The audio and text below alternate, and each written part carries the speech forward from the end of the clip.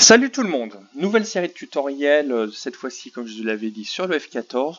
Donc bien sûr ce ne seront pas des tutos complètement formels etc. Le but c'est que vous sachiez démarrer l'appareil. Donc de toute façon pour l'instant je ne ferai des tutos que sur le poste avant euh, le poste pilote. Et puis on verra euh, quand j'aurai un peu de temps pour lire un peu tout le manuel pour s'occuper de la place du Rio. Donc déjà on va commencer par démarrer l'appareil. Alors, avant toute chose, on va se réarmer, parce que là je l'ai mis à vide. Donc on va se mettre deux AIM 9. Ensuite, on va se mettre des AIM 7. Ensuite, on peut se mettre des bidons de carburant. Là, on va, si on va les mettre, tac. Et bidons de carburant. Et ici, ensuite, on va se mettre du Phoenix, donc les AIM 54 parce que donc le tuto je ferai en tout de suite la j'enchaînerai ensuite à la vidéo où on ira taper du, TU22 euh, sans euh, au F14. Euh, du coup, vous avez réarmé. Alors pour vous faire simple, le démarrage du F14 c'est un mixte entre le démarrage du F5 et du F18. Pourquoi je dis ça? Parce que au début, il va falloir que vous mettiez votre groupe du parc. J'ai également dû augmenter les sons dans DCS parce que sinon je n'ai pas le son du Jester qui est derrière, ce qui pose problème. Donc on augmente ici le... Et il faut également la source pneumatique. Une fois que vous avez fait ça,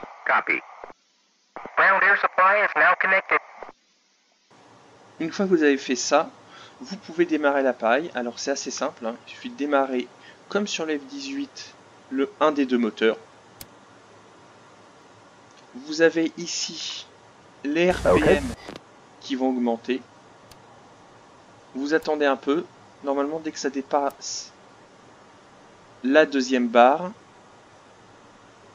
comme cela, voilà c'est la troisième même, vous pouvez augmenter, avancer en cliquant dessus. Uh, la manette des gaz de ce côté-là. faut également dire au Jester, euh, vous pouvez également lui dire que vous avez démarré. Alors, le, la touche pour parler au Jester correspond à la touche Q normalement sur le clavier et ça fait partie du menu Jester AI. Moi je suis au tracker et au tracker j'arrive à me déplacer sur le sur. Voilà. Parfois vous avez des soucis quand je ne rien sélectionner comme là, il faut que je change. Donc pour l'instant, c'est pas très grave pour le gester. Ensuite, vous pensez à bien fermer la canopie. En attendant, mon premier moteur s'est allumé. Vous voyez qu'ici les RPM sont au niveau des 7 et que j'ai ici la deuxième barre qui a rebaissé et mon bouton qui est repassé en position centrale. J'allume l'autre moteur. Pareil, les RPM augmentent.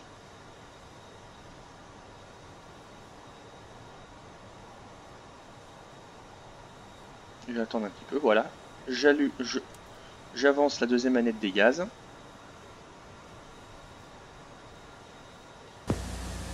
Et pour l'instant, vous ne pouvez rien faire. Le GCR va devoir après faire tout ce qui est l'alignement euh, INS et compagnie. Mais pour l'instant, vous êtes bloqué. Ensuite, vous pouvez allumer ici, ici, les appareils.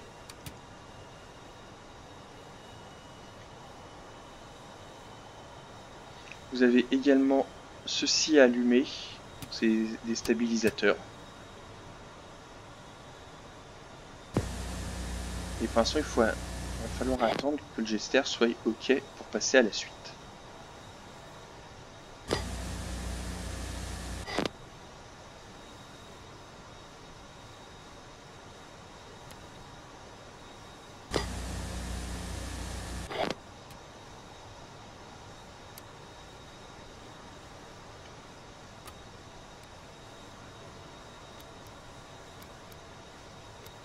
Peut l'entendre d'ailleurs qui touche des boutons derrière. Voilà. Une fois que lui est prêt, est, prêt de son côté, vous allez pouvoir demander l'alignement. Donc plus vous êtes sur la gauche, plus l'alignement sera rapide mais moins précis. On va faire un truc très lent qui est l'INS GoFine.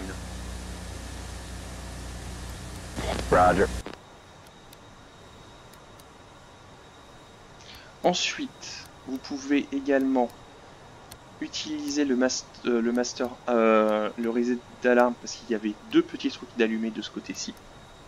Et là, il va falloir que vous attendiez. On va mettre en vitesse accélérée. Donc là, on a commencé l'alignement, on était à 8,05 à peu près. Et normalement, lui va nous dire quand il est bon qu'il a fini l'alignement de son côté.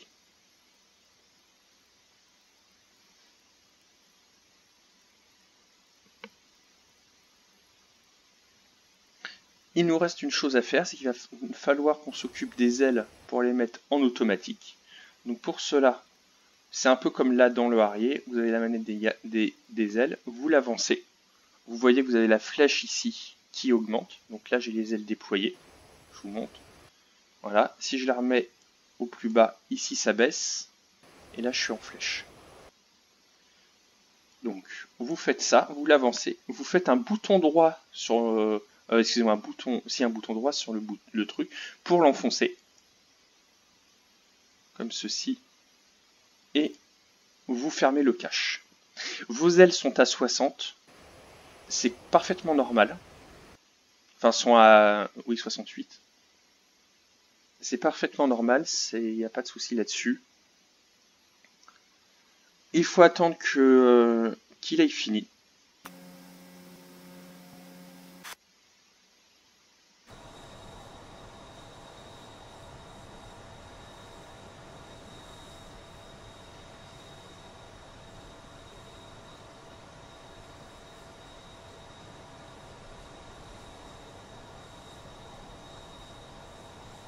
Là vous avez la boussole en fait avec tout le système de euh, avec tout le système après de, euh, de navigation. Là vous avez l'écran qu'on voit dans Top Gun en fait avec le, le truc infrarouge qui se trouve en dessous, si je dis pas de bêtises.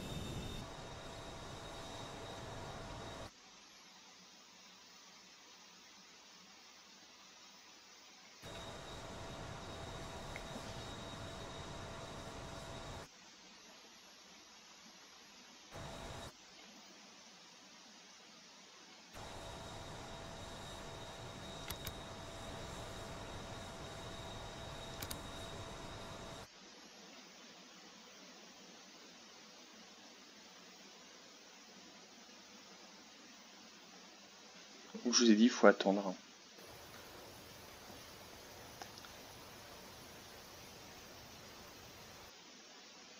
Voilà. Là, le système est OK. Vous avez l'écran qui s'est allumé. Vous avez également, comme vous pouvez le voir, on a la direction du waypoint. Donc il va falloir qu'on aille plein... Euh, Voilà. Et le jester vous dit, ok c'est bon, donc vous voyez, on avait commencé à 8,05, ça met environ 7-8 euh, minutes en faisant un alignement, un très bon alignement. Donc là vous êtes bon, il nous reste à retirer le frein de parking. Il va également falloir qu'on active la roue avant. Donc la roue avant, c'est de base la touche N, qui est le nose, euh, c'est le nose wheel steering toggle.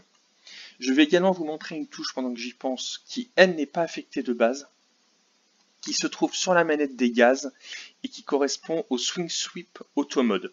Donc c'est pour mettre de façon automatique euh, l'écartement des, euh, des ailes. Actuellement je laisse en off puisque si on fait du taxi ça serait con d'avoir les ailes euh, dépliées au maximum. Donc j'accélère un peu. J'active le nose wheel steering, vous avez une petite lumière là qui apparaît.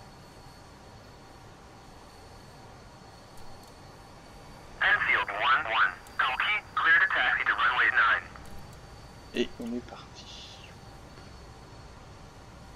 Donc je me mets sur la piste. Il n'y a pas de vent, il n'y a rien, donc c'est pas trop un problème. On va freiner un bon coup je vais activer les, euh, euh, automatiquement les ailes. Moi j'ai mis H. Vous voyez qu'ici d'ailleurs ça passe en marqué en auto. Et vous avez les ailes qui se déploient.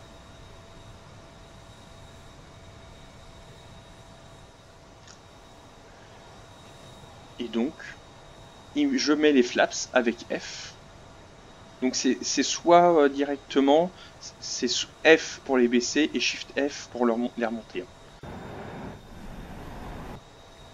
Vous pouvez également modifier un peu le trim de l'appareil qui de base est un petit peu levé vers le haut et le baisser. Vous voyez également que ça bouche le manche d'ailleurs, c'est très marrant. Si on veut. Voilà, vous mettez à peu près vers zéro. L'appareil décolle très bien. On va aller jusqu'au décollage et puis après on s'arrêtera. Je mets les gaz à fond.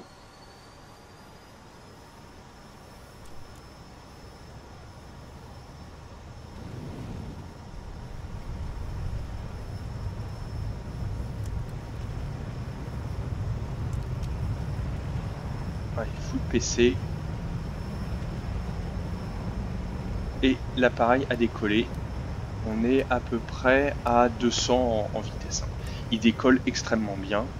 J'ai retiré, la PC. Et,